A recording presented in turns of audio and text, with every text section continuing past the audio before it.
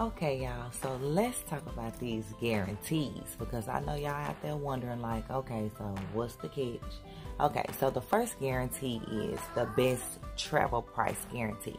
So what that basically means is if you're if you book a trip for a client and they find the exact same trip, apples for apples, oranges for oranges, everything is matching up for a cheaper price, InteleTravel is guaranteeing to either meet it or beat it or the next trip is on InteleTravel because they give the client 110 um, percent in InteleTravel books, which is also a return client for you.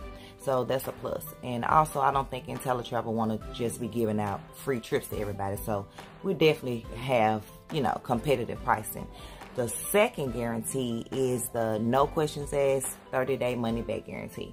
And basically, what that is, if you come in, you test drive it, you may take you a little trip or get you a hotel, rent a car, you know, and you may decide that I don't want to make any travel commissions or I don't want to change my zip code or leave a legacy for my family. So on that 29th day, you can call InteleTravel and say, hey, this is not for me. I would like to get my money back.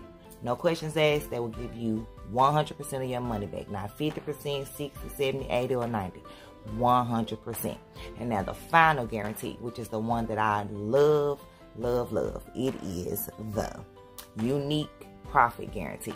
Now what that is, is in, you the government doesn't expect a new business to make money the first three to five years. So what InteleTravel is guaranteeing that in your first year, if you don't make or save what you invested into the company, they will write you a check for the difference.